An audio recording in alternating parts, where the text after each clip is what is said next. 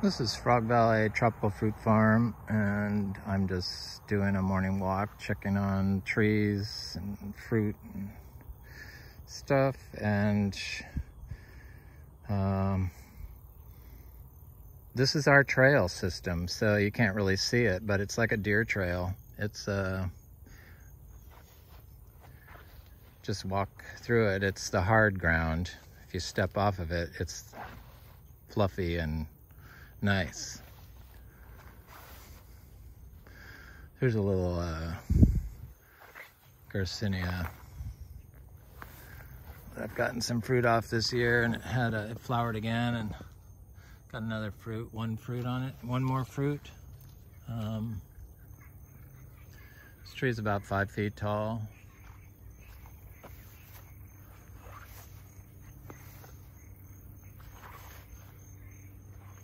This is that Garcinia species with the red flower I did a video of. Uh, it was flowering when six different Garcinias were flowering here. And I don't see any fruit on this particular tree. It's the only tree we have like this. Well, there is another seedling tree underneath, so fairly certain it produced fruit. It looks like there's a sugar apple or a Atemoya or something coming up right there.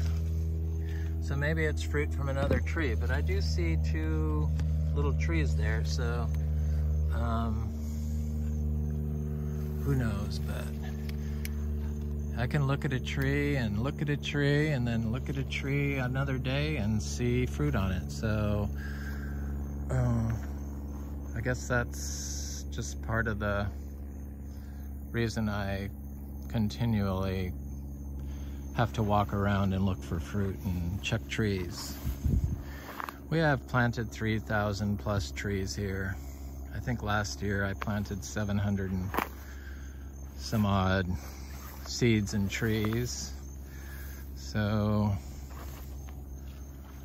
uh, I just keep throwing seeds at this property and um, I used to buy the seeds, but thankfully now I don't really have to do that anymore.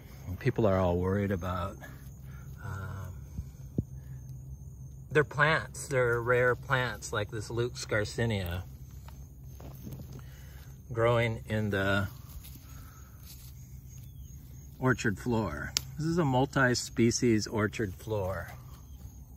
It's covered in fungi, different mushrooms and uh, at least 15 different types of nutrient fixing uh, legumes and I mean nitrogen fixing legumes and um, uh, more native species than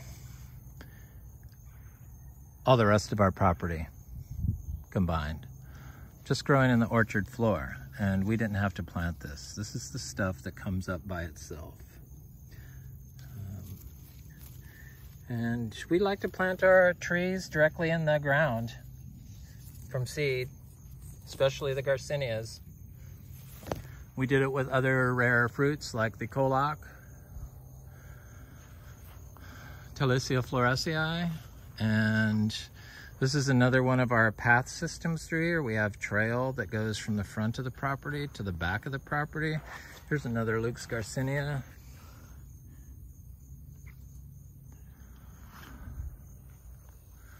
I know these are Luc's Garcinias. There's no doubt in my mind. So they came directly from the source and we have about a hundred of them. And I don't worry about little trees. What I worry about is keeping plants alive in pots.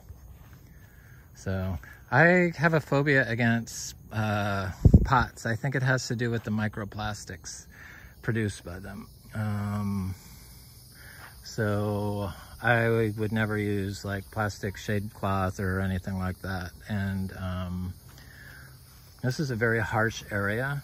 This is why the soil is so white, because this is mowed. That's what happens in Florida when you mow it. It doesn't protect the sand. So it compacts it and pushes all the organic matter out of it and down the drain it goes. Evaporates eventually. But we do little tiny trees. And this is a little tiny citrus, uh, blood, I mean, uh, key lime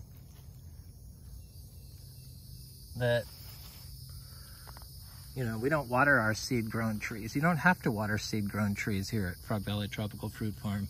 That's the beauty of it.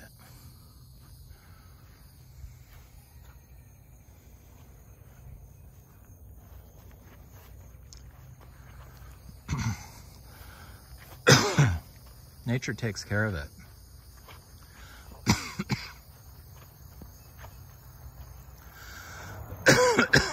Excuse me.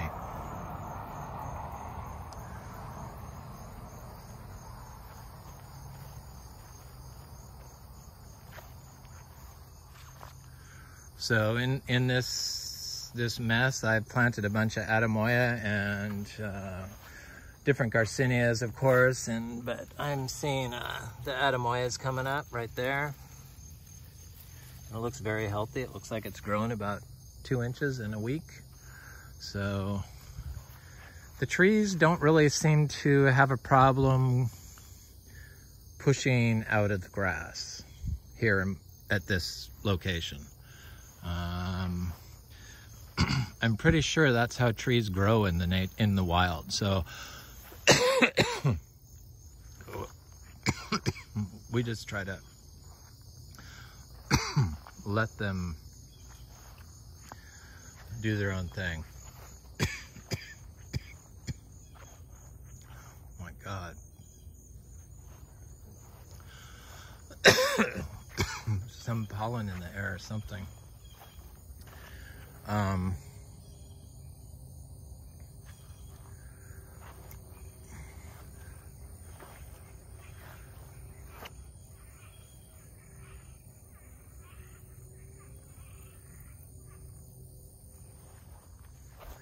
these uh, bananas are just like so healthy. And uh, to be really big. And you don't have to do anything. You don't have to like cut the grass or put wood chips on them or anything like that. You just kind of let the biology do it for you that's the beauty of natural farming it's hard for people to understand for some reason or maybe they understand it, but they are afraid to let go of the control. Well, plants will smother something, but if you had tall grass, like the this tall, or you had this in there, you know, this ginger, um, you would have to wipe out the tall grass generally people think. Here in Florida, this, what used to be a lawn, just kind of falls over once it gets two feet tall, like there. Which if it's real thick, it could smother a tree, yes, but that's why you plant seeds. They're cheap and you can plant a lot of them.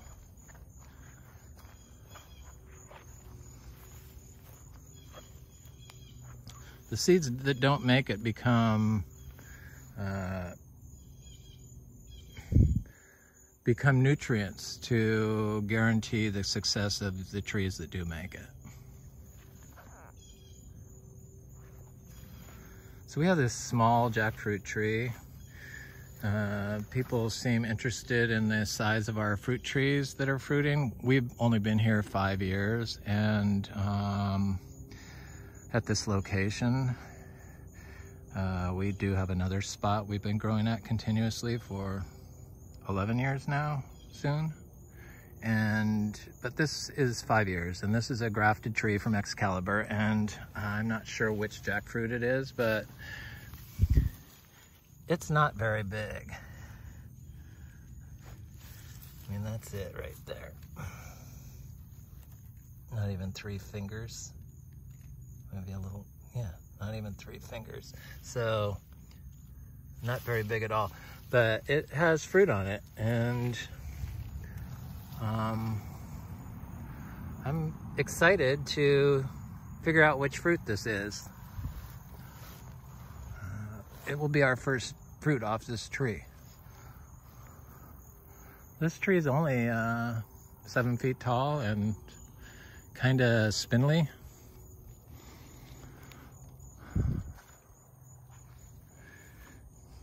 Seems like when you give the manures and the compost that stuff flowers and produces more for us.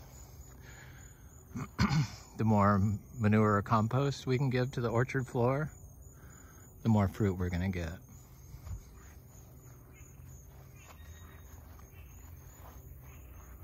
Anyway, this is Frog Valley Tropical Fruit Farm. Biological natural farming in Florida for the environment.